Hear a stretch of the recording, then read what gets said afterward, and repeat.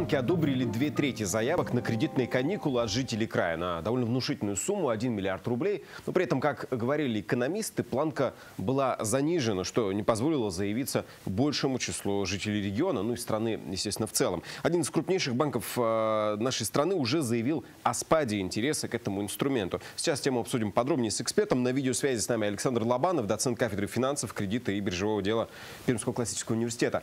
Александр Иванович, здравствуйте. Здравствуйте. Спасибо большое, что нашли время. А, как вам кажется, вот это большой процент одобрений, 70% э, заявок на кредитные каникулы от физлиц одобрили, об этом отчитался Центробанк Пермский?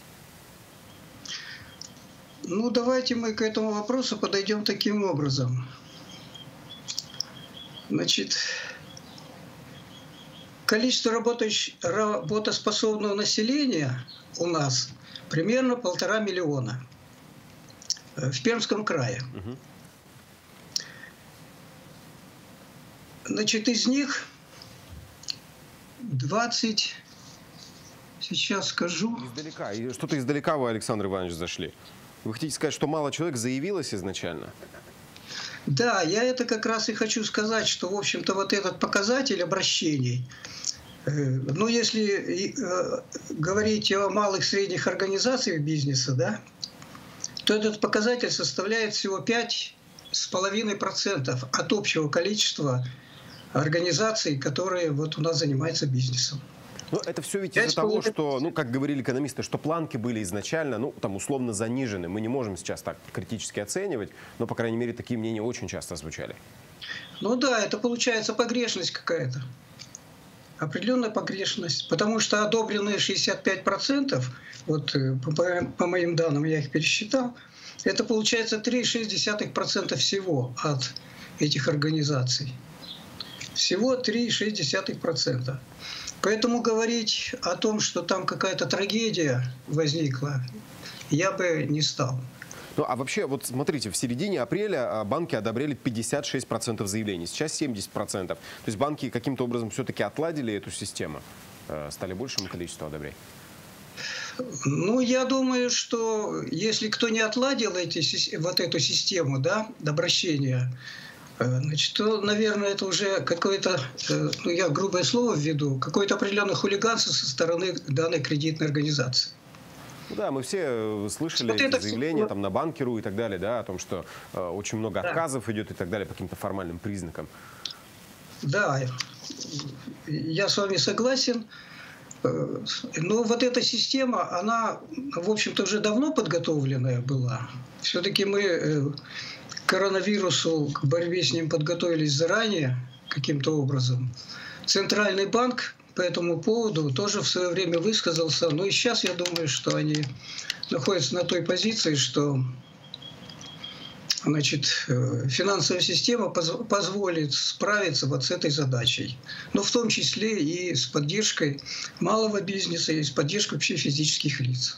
Александр Иванович, вот у меня такой следующий вопрос. Да? Один из э, там, банков из топ-5, не будем там называть, в принципе, неважно, уже заявил о том, что э, количество таких заявлений там, по кредитным каникулам уже снизилось на треть обращений, то есть в мае. То есть получается, что э, инструмент уже не будет востребован кредитных каникул сейчас, в ближайший там, месяц, условно. Ну, я опять э, назову пару цифр, если возражаете. Угу пару цифр. Значит, у нас всего вот таких организаций 44 911. Из них 40 897 микроорганизации. Вот обращение я уже говорил, 3,6%. Еще хочу заметить следующее. Значит, э, вот эти все частные предприниматели, они буквально где-то еще месяц не прошел нашей борьбы с коронавирусом, они уже начали под разными предлогами работать, ну, в рамках законодательства. То есть и этот показатель, и то количество организаций, о которых я озвучил, я хочу сказать, что да, процент, видимо, э, процент обращений, видимо, расти не будет. Угу. Немножечко вы уводите, да, все-таки в, э, в сторону малого и среднего бизнеса. Я в том числе про физлиц спрашиваю. Показать а давайте деле, про там... физические лица. Да, да давайте лица. про физические лица. Я про них тоже говорил, начал говорить. Вот. вот по моим данным, обращений по физическим лицам было 6 тысяч. 6 тысяч. Ну, а вот работающих я уже озвучил, полтора миллиона. То есть это тоже такая маленькая цифра. В общем, люди, которые этим занимаются, они ну так, достаточно предусмотрительные. Ну, получается, что сейчас уже э, там нет смысла каким-то образом эти планки уже повышать, да? Все, кто э, там обратился, то есть если даже говорили то, что эти планки э, по кредитам, по, так если не ошибаюсь, 250 тысяч по потреб кредитам, 600 тысяч по автокредитам, ипотека 2 миллиона, то есть сейчас эти планки уже там в стране не повысят, насколько мы понимаем, несмотря на критику звучавшую. Я думаю, что если это и будет повышение, но будет связано с, други, с другой ситуацией, с ситуацией развития коронавируса у нас в стране. Потому что я хочу обратить внимание на то, что э, ну, наше население достаточно равнодушно относится к, вот к этому вопросу.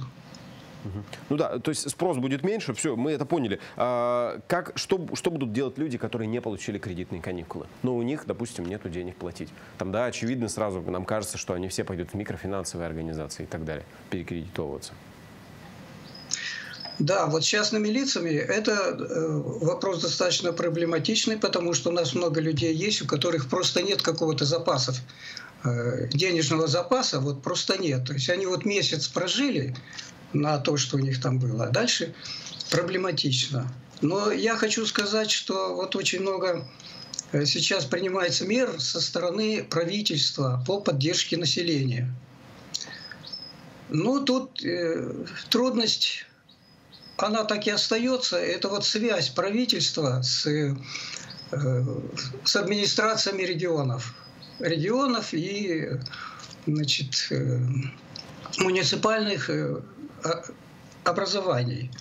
То есть вот это, насколько оперативно будет, будет вот эти администрации работать, настолько трудно будет вот этим людям. Александр Иванович, все-таки по платежам за кредиты, что будут люди делать, их стратегии действия? Просто э, просрок будет по кредитам или они будут в микрофинансовые организации идти, выходить в процедуры физбанкротства? Какие поведенческие стратегии будут?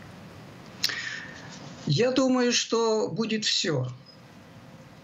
Все, вот, э, все возможности, которые предусматриваются, вплоть до организации банкротства э, физического лица. У нас же есть такая еще процедура, я думаю, что будет вот это происходить все. Но опять же, все зависит от того времени, в котором мы будем бороться с коронавирусом. Ну, смотрите, вот уже два месяца, да, кто-то, возможно, уже два месяца по кредиту не платит, да, сначала там режима самоизоляции. Еще месяц наступит, у них будет грубая просрочка, больше 91 дня. А, не нужно ли для них каких-то дополнительных нормативных актов вводить? Потому что получается, что у них кредитная история испорчена надолго, на год, на два, да, если они три месяца не платили. А, нужно ли вводить какую-то норму, чтобы каким-то образом там э, отодвинуть этот срок? То есть сейчас ведь пойдет большая волна вот э, таких испорченных кредитных историй. Видите, я сейчас не владею цифрами, сколько, э, этого населения, сколько такого населения э, находится у нас, хотя она есть. То есть цифрами я этими не владею. Не могу вам сказать определенно, э, значит, конкретно. Но ну, в любом конкретно, случае это несколько процентов но Считаю, в любом случае. Да, но считаю, что Э, значит, нужно экстренно собирать вот эту информацию, то есть набирать статистику, и с этой статистикой уже обращаться выше, но конкретно государству. Да, понятно. Спасибо большое. Александр Лобанов с нами был на связи, доцент кафедры финансов, кредита и биржевого дела Пермского классического университета. Мы обсуждали кредитные каникулы и процент одобрения заявок.